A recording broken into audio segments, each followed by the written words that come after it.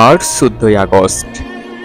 দুই হাজার তেইশ সালের আজকের এই দিনে পৃথিবী থেকে চিরবিদায় নেন কোরআনের এক উজ্জ্বল নক্ষত্র, কোরআনের পাখি আল্লাহ মাহদেলওয়ার হোসেন সাইদি তাকে মিথ্যা অপবাদ দিয়ে রাজাকার ও যুদ্ধ অপরাধী বলে বছরের পর বছর জালিমের কারাগারে আটক রাখা হয়েছিল।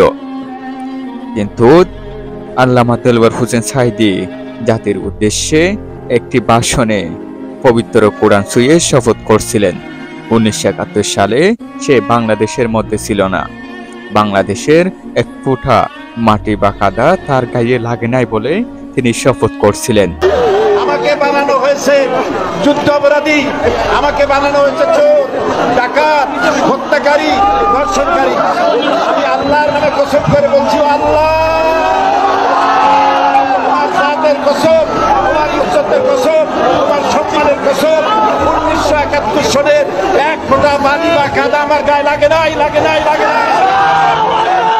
কিন্তু আওয়ামী স্বৈর শাসকরা তার এই কথার কোনো গুরুত্বও দেয়নি এবং কর্ণাফাত করেনি।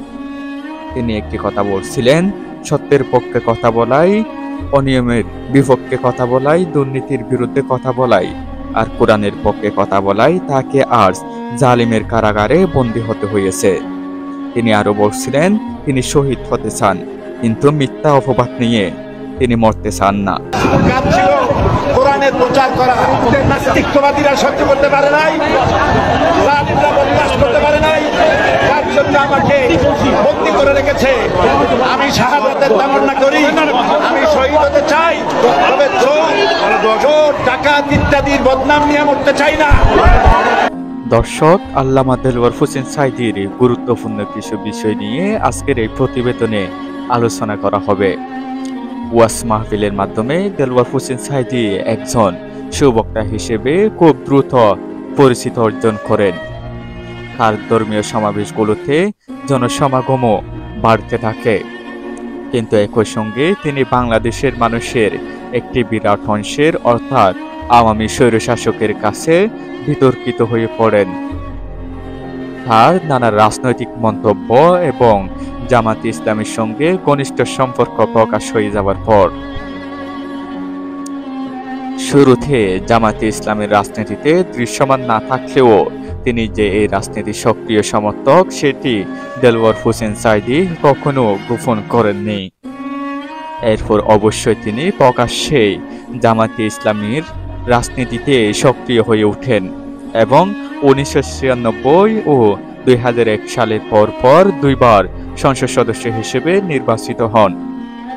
যুদ্ধাপরাধীদের বিচারের প্রতিশ্রুতি দিয়ে বাংলাদেশে আওয়ামী স্বৈরশাসক ক্ষমতায় আসার পর জামাতের অন্যান্য নেতাদের সঙ্গে তাকে বিচারের কাঠগড়ায় দাঁড় করানোর প্রক্রিয়া শুরু হয়।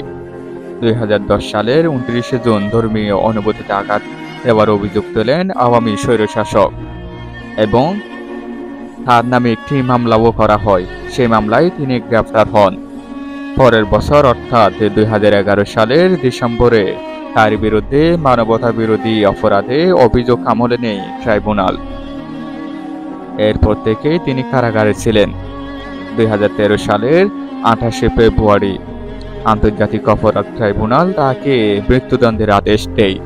তবে মৃত্যুদণ্ডের সাজা কমিয়ে দুই হাজার চোদ্দ সালে সেপ্টেম্বর মাসে আপিল বিভাগ দেলওয়ার হোসেন সাইদিকে আমৃত্যু কারাদণ্ড দেয়।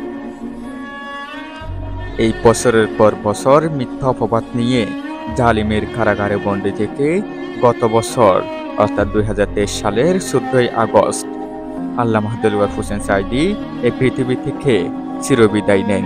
ইন্নাহ লিল্লাহি ওয়া ইন্না ইলাইহি রাজিউন।